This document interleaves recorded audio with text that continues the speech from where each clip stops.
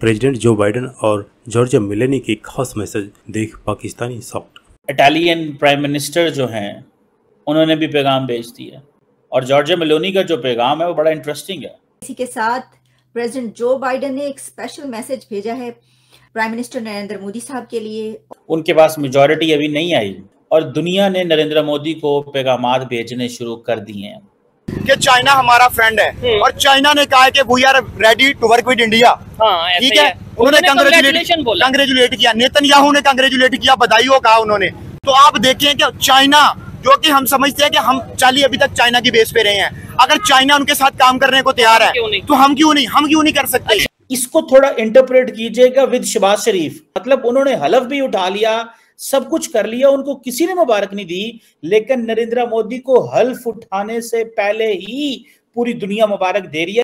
Hello friends welcome to channel A P Gyan तो दोस्तों, जैसे कि आप जानते हैं कि इस समय भारत के चुनाव संपन्न हो चुके हैं और फिर से तीसरी बार भारत के प्राइम मिनिस्टर मोदी जी बनने जा रहे हैं, जिसके ऊपर दुनिया भर के लीडर्स ने मोदी जी को पीएम के ओथ लेने से पहले ही, यानी शपथ समारोह से पहले ही कंग्रेचुलेसन और बधाइयाँ देना शुरू कर दी है। और ख़ास बात यह है कि मोदी जी को बधाई संदेश न सिर्फ़ भारत के पड़ोसी देशों से आया है, बल्कि दुनिया के जो बड़े बड़े देश हैं, चाहे वो अमेरिका हो, रसिया हो, चाइना हो सब की तरफ़ से मोदी जी को तीसरी बार भारत के प्राइम मिनिस्टर बनने पर बधाई संदेश तो आए हैं, लेकिन उसी के साथ साथ कुछ देशों के प्राइम मिनिस्टर और प्रेसिडेंट ने न सिर्फ़ जो एक खाना पूर्ति के लिए बधाई संदेश होता है, वो भेजा, बल्कि उसी के साथ साथ बाकायदा स्पेशल मैसेज भेजा गया मोदी जी के लिए, भारत के लिए।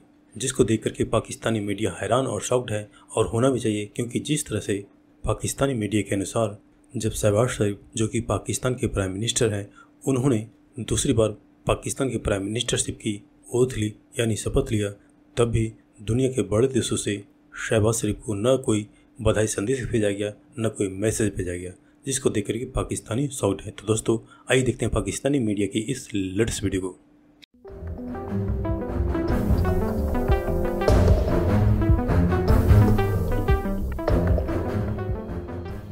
दुनिया भर के और जो लीडर्स वो प्राइम मिनिस्टर नरेंद्र मोदी को उनकी हिस्टोरिक थर्ड टर्म पर मुबारकबादें पेश कर रहे हैं। इसी के साथ प्रेसिडेंट जो बाइडेन ने एक स्पेशल मैसेज भेजा है प्राइम मिनिस्टर नरेंद्र मोदी साहब के लिए और बहुत ही ज़बरदस्त तरीके से प्रेसिडेंट जो बाइडेन ने नरेंद्र मोदी की थर्ड टर्म को हेल किया है। उन्होंने उसको कहा है कि ये जो विन है और इंडिया के जो इलेक्शंस हैं, उसके ऊपर प्रेसिडेंट बाइडेन ने बहुत खुशी का इजहार किया है और कहा है कि इससे दोनों कंट्रीज़ के जो टाइज हैं, वो मजीद स्ट्रेंथन होंगे प्रेसिडेंट जो बाइडेन ने कहा कि congratulation to prime minister Narendra Modi and national democratic alliance on their victory president Biden ने आगे लिखा अपनी ट्वीट में कि the friendship between our nations is only growing as we unlock a shared future of unlimited potential. और सिर्फ़ यही नहीं, बल्कि मोदी साहब ने दुनिया भर के लीडर्स को उनके मैसेजेस का जवाब भी देना शुरू कर दिया और उन सबको थैंक्स किया जा रहा है। मोदी साहब की तरफ़ से थैंक्स किया जा रहा है।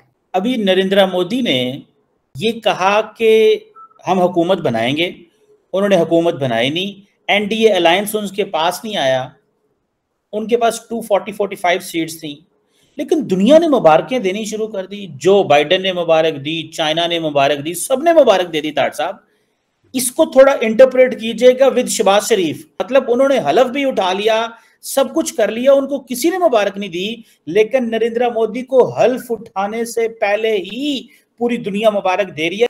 सबसे पहले तो शबाज शरीफ साहब के हल्फ लेने पे और नरेंद्र मोदी के हल्फ लेने में ज़मीन आसमान का फ़र्क है। आपके शबाज शरीफ साहब को अभी लोग अली अमीन गंडापुर जैसे लोग कई जो है, रोज़ाना गिरबान पकड़ते हैं इस हुकूमत का। तो आपका क्या ख्याल है? दुनिया आपकी क्यों इज़्ज़त करेगी? आप मुझे यह बताएँ जेल के अंदर से हर इंटरनेशनल जरीदे को इंटरव्यू दिया जा रहा है। कोई है ऐसा बंदा मर्द इंसान पा, पाकिस्तान में जो जेल को जेल बना दे चीमा साहब? आप कितने ताकतवर हैं? आपकी जुडिशरी के हालात क्या है? आपकी असम्बलियों के क्या हालात हैं? तो आपका क्या ख्याल है? दुनिया देख नहीं रही आपको कि आप क्या है? इटालियन प्राइम मिनिस्टर जो हैं उन्होंने भी पैगाम भेज दिया। और जॉर्जिया मेलोनी का जो पैगाम है वो बड़ा इंटरेस्टिंग है। उन्होंने कहा कि नरेंद्र मोदी साहब आपको इलेक्टोरल कामयाबी जो है वो मुबारक हो। न, अभी उनके पास मेजोरिटी नहीं आई ये है क्रेडिबिलिटी इसे बोलते हैं कि दुनिया आपके साथ हर कीमत पे चलना चाहती है।